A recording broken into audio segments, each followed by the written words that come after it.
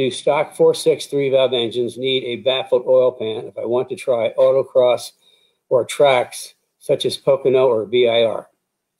I would say yes. Uh, we put uh, road race oil pans on every single car that we do. Uh, it's just it's an insurance policy. I mean, it's just the, the, the what's different about a road race oil pan uh, and is the fact that they're obviously a little bigger, they hold more oil, but where the pickup is, there's little, little like fences all around where the pickup is with, with one-way trap doors. So as the car would go through a corner and the oil would slosh, it would be able to slosh into the little, little pickup area. But because the trap door won't slosh out, and the other way it'll slosh in but not slosh out. That way, you've always got oil uh, being picked up. If you don't, I mean, there's a chance that if you if you don't have a, a good oil pan going through a corner really fast, getting the oil is kind of like going right up the side of the pan in the engine. And if your if your uh, uh, oil pump is sucking air, uh, that's a catastrophe. I can tell you that for a fact because you mentioned Pocono. Okay, I had a very interesting experience at Pocono a number of years ago. We were, I was there doing a, a segment for uh, MotorWeek uh, with uh, the Red Rocket, which is my 96 Cobra, the supercharged Cobra that was was really fast car. And uh, we blew the engine up uh, at, uh, at, at Pocono.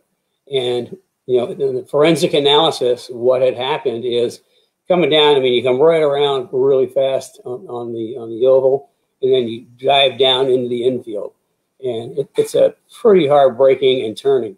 And uh, based on what we found in the engine when we took it apart and talking to the engineers up at Ford, what happens is the uh, the oil in, in, the stock, this is with a stock oil pan.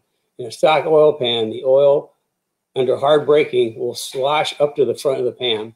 And once it gets there, the timing chain becomes an extremely efficient oil pump and it just throws all the oil out of the oil pan up in the top of the motor. So, and that's what happened. I mean, you do that a couple of times to suck air, and boom, you know, it, was the rods went out. So, yeah, at Road Race Oil Pan, we we we used the Cantons, had really really good luck with them.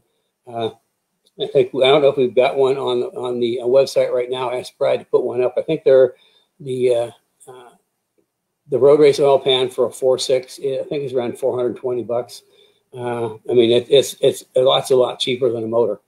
That way you, you've got insurance that you're going to have oil pressure. So yeah, I, would strongly recommend anybody that does a lot of track days. I strongly recommend a road race oil pan. Uh, it's just insurance, you know, it's, it's, a cheap insurance policy. So okay, that's for the oil pan. Um, and then I'm, I'm sure that uh, if you check in a day or so, that we'll have that up on the website. And if not, just call it to Rich. We can get you fixed up. Another thing, when you change oil pans on the any of the modular motors, on the brand new cars, because we do a lot of like brand new, brand new cars, uh, we'll reuse the oil the oil pan gasket because it's it's pretty fresh. But something like a three six on a four six, uh, you need to get a fresh oil pan gasket, and they're kind of like the, the big the one piece thing, and it's just another good insurance. I mean, there's nothing worse than spending all the time to put a, a good oil pan on, not change the gasket, and then find yourself you got a little oil leak.